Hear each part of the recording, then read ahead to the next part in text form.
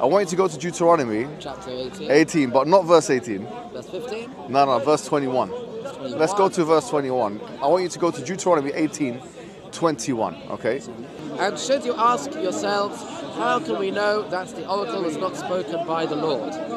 Keep going. If the prophet speaks in the name of the Lord, and the oracle does not come true, that oracle was not spoken by the Lord, the prophet has uttered it presumptuously, do Beautiful. not stand in dread of him. Now, what I understand from these verses, and please correct me if I'm wrong, is that it's saying it's giving us a criterion for how do we establish or how do we know whether there's a true prophet or a false prophet. That is true. And it's saying that if that prophet makes predictions, this is referred to as oracle here, Yes. makes predictions of the future, Yeah. and they come to be true, they come, they, are, they materialize, then that is an indication that they are true prophets. It does not actually say that. What it Well, does say, I'm- I'm paraphrasing, go ahead. What it does Yeah. say Yeah. is that if a prophet, um, if a pro- if the oracle does not come true, then he is not a true prophet. Yeah, so- it so- does not say, however, Right, that right. if it does come true, that means that he is a true prophet. No, but that is the inferred, because if you look, Not necessarily. no, it can be because The- let, let me tell you why, right? Sure.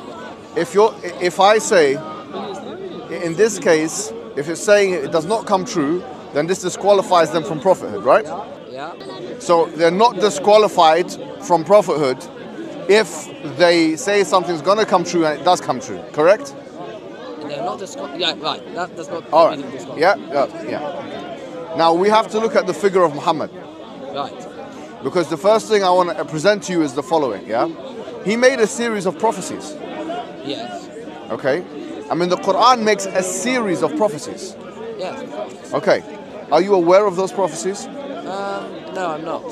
All right. So what I'm going to do is I'm going to present to you some of those prophecies in the Quran and in the Hadith, and I want you to uh, react to those things. Okay. Sure. All right. So Before you do so, Yeah, yeah. can I make an extra point that is important to the discussion, yes. which is that there are other conditions that have been laid down in Deuteronomy chapters 30. Let's read them. Just yeah. Go ahead. About about the issue of what is a false prophet. So if you look to chapter 13, Yes.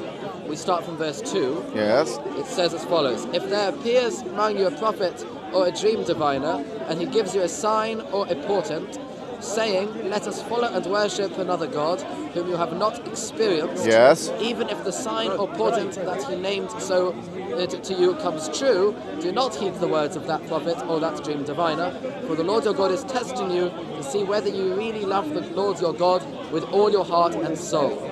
Right. So the, so we've got another condition, Yes. which is that it must be that, that prophet must call to the uh, God the, the worship of one God. No, it doesn't say of one God, it says Well, okay, the gods well- that you have experienced. And are, you, are the gods that the Jewish people experience more than one? no, So it's one God, right? yes, it is one Great, God. great. So that- the let- God that we experienced at Okay, fine, fine. But that, that God we're talking about is the one God of Moses, right? Yes, indeed. Correct. So if he speaks, if that prophet comes and calls to a God other than the God of Moses, then he's disqualified. Indeed. We can't deny that the Prophet Muhammad and the Quran both talk specifically about Moses, talk specifically about him receiving the revelation, talk specifically about the God of Moses, literally the God of Moses. Okay, and that is the God we believe in. The point which was talked about in Deuteronomy 18:21 is that the prophecies that this prophet came with are in fact had materialized. So I'll give you five examples, Josh, because I was meant to be doing this in the beginning. Sure. Okay? For example, in the Quran it states that the Romans had been defeated in the nearby lowland, and that in three to nine years that they will become victorious. Okay? Now this materialized. It's very specific and it materialized. Number two, the, the Quran states that the Muslims will be victorious and that they will enter Mecca and they will be cutting their hair and they will be shaving it and they will have no fear, meaning there will be no fighting. So the Quran predicts that the Muslims will be victorious against the pagans and that they will not be fighting, and that's exactly what happened. It was a conquest which uh, meant that the, the Muslims could freely go and do Hajj, pilgrimage. Number three, and this relates to uh, the, the, the Palestine issue, the Prophet ﷺ, he said, Count six things before the day of judgment my death and then the conquest of Jerusalem. And we know historically, without a shadow of a doubt, that Islam conquered Jerusalem. Well, of course. Of course.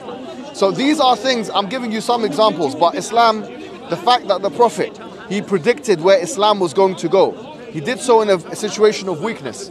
One time he was in, he was being attacked by all places. Imagine in a state of bleak uh, weakness, a situation where it's to- totally bleak and total weakness, where he was so hungry, the Prophet, that he had to tie a rock to his stomach, and that they were fighting him from everywhere. At that time, okay, the Prophet made a prediction. There was a rock. He knocked it one time. He said, "Futiha Rum," that the Roman Empire has been conquered. And then again, Futiha Faris, that the Persian Empire has been conquered. That he predicted that Islam could take over the major empires of the world. So amazing was this that even historians like Barnaby Rogerson, he said the fact that the Arabs had conquered the Roman and Persian Empire, it's like Eskimos conquering America and Russia. It's something which is miraculous by all standards. So these are some examples of things that the Prophet told us, even things which relate to today. That there will be the Arab, the barefooted Arab, that they will be competing for the high buildings. Imagine if you make all of these predictions and you get them wrong. That when the Prophet made predictions of the future, he made predictions which astonishingly, even though the prob- probability of them coming true were very low, did come true. Would you agree with me? Yeah? They put the Prophet, at least from your perspective, a biblical perspective, yeah, in serious contention for prophethood. Would you agree with that? In serious contention, from a biblical perspective, I would have to concede yes. Exactly. And but the, the thing is this, we say that Prophet also came with something. The Quran states, we have not sent you except for a mercy of to humankind. So the fact is, we believe that there was a transition after Moses. And the transition meant for a prophet this time who would come and who would be for all of humanity.